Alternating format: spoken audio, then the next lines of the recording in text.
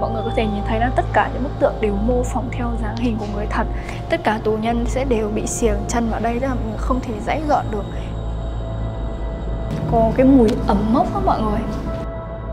Và khi các tù nhân đấu tranh thì đã bị uh, quân đội pháp những cái cai tù ấy người ta dùng vòi rồng để xịt vào các anh. Nay thì mình sẽ dẫn mọi người đi tù nhưng không phải là nhà tù mọi người hay nghĩ mà đó chính là nhà tù Hỏa Lò, một di tích lịch sử lâu đời của Hà Nội nha mọi người. Đây.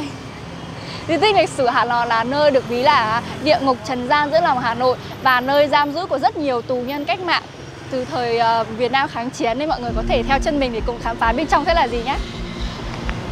Mình đã mua vé xong rồi nha mọi người. Trên tay mình là ba tấm vé nhé. Team tin nhà mình có 3 người. Và mỗi một cái vé vào tham quan nhà tù chỉ đáng giá là 30.000 đồng thôi nha mọi người.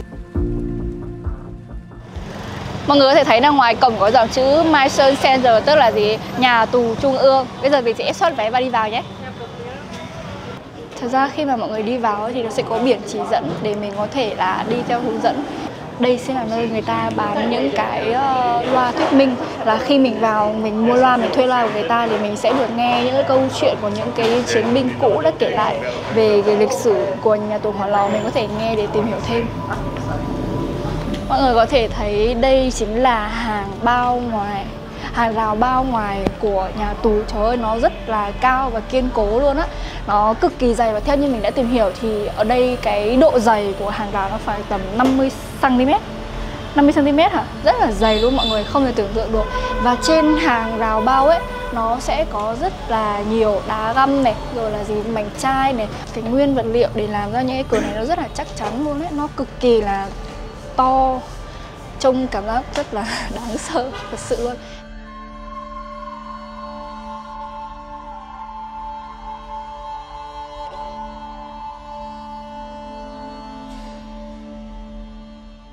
Đây sẽ có những cái tượng người người ta mô phỏng lại những cái tù nhân ngày xưa. Kinh khủng cực kỳ luôn mọi người ạ. Tất cả tù nhân sẽ đều bị xiềng chân vào đây là không thể dãy dọn được. Và mọi người có thể nhìn thấy là tất cả những bức tượng đều mô phỏng theo dáng hình của người thật.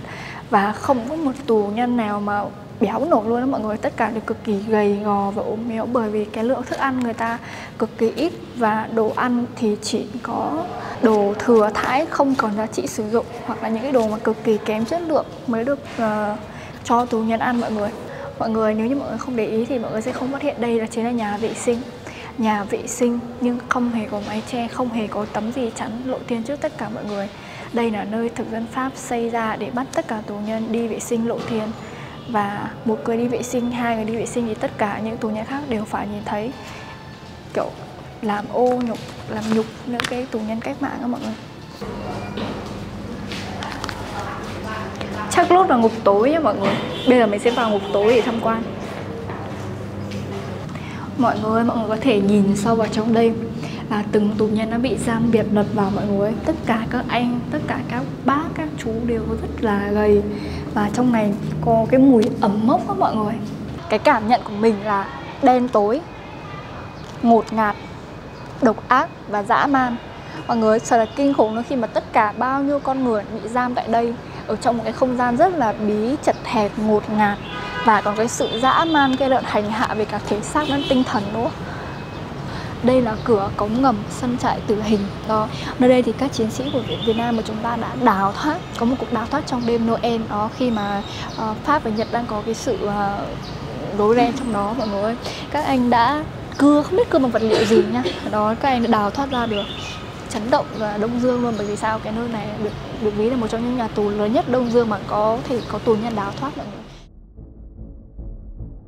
Mọi người, đây là phòng giam của các nữ tù nhân và cả những em bé. Bởi vì không có người thân chăm sóc thì các em bé phải theo mẹ. Phòng giam này có diện tích chỉ tới 30 mét vuông thôi Nhưng mà có thể chứa tới 30 phạm nhân. Phòng thì nhỏ, người thì đông, rất là thiếu không khí. Đây là những tù nhân nào mà yếu, sức khỏe yếu một xíu Thì sẽ được các uh, chị ưu tiên ra ở gần cửa để hít thở không khí tốt hơn đây là chiếc máy chém đã lấy mạng đi rất là nhiều chiến sĩ cách mạng của chúng ta thời ấy.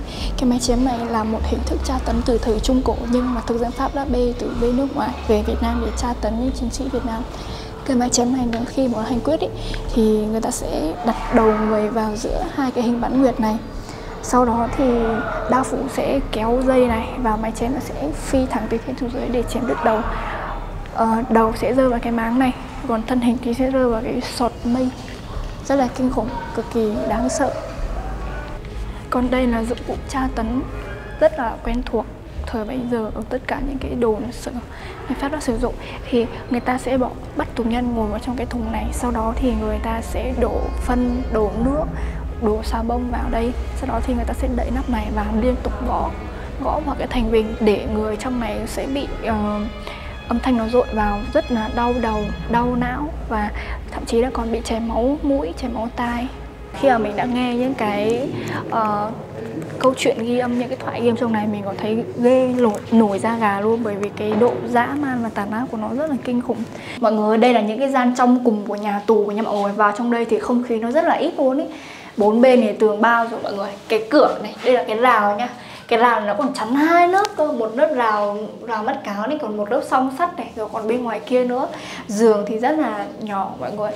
Thật ra là khi mà người ta đã phục dựng lại cái nhà tù này mình sẽ thấy cái đèn này nó hơi sáng sáng thôi, nhưng mà nếu như mà thật sự ấy, thì chỗ này là không có bóng đèn luôn. Ngọn, năm ngón tay giơ lên còn không phân biệt đâu là mặt trái, mặt phải luôn mọi người mình thấy khá ấn tượng với cái bức tường này bởi vì người ta đã khắc họa trên đá luôn nha người ta đục sâu vào đá. Hình ảnh của các chiến sĩ ngày xưa khi bị giam cầm trong nhà tù hỏa lò với đủ mọi tư thế đủ mọi cái hình thức tra tấn. Cảm thấy rất là xúc động khi mà tới đây luôn và khi nhìn thấy bức, bức tranh này nó kiểu một phần nào hình hình dung ra được cái khung cảnh của thời đó và những cái cây đắng những cái à, khó khăn các anh nó phải chịu những cái bạn nào mà ở xa chưa tới Hà Nội hoặc chưa có dịp tới Hà Nội thì có thể một lần nào đó mọi người có cơ hội thì hãy tới Hà Nội tham quan và hãy tới đây nhé. Người ta thường nói là uh, học thêm về lịch sử Việt Nam để thêm yêu đất nước Việt Nam mình thấy câu này rất là đúng bởi vì càng hiểu thêm về những cái địa danh di tích lịch sử càng hiểu thêm về những câu chuyện ẩn sau nó thì mình càng thấy là cái uh, dòng chảy lịch sử nó đang cuộn trào trong mình luôn trong quá trình mình đi thăm quan mình đi review cho mọi người thì bắt gặp được rất là nhiều người nước ngoài và các bạn học sinh uh, những cái bố mẹ và dẫn những em bé Việt Nam tới đây để tham quan nhà tù. Biết rằng là ngoài bên ngoài kia Hà Nội rất đẹp rất nên thơ nhưng trong lòng Hà Nội vẫn có những cái nơi như thế này. Có những cái nhà tù này những cái địa ngục này để giam giữ.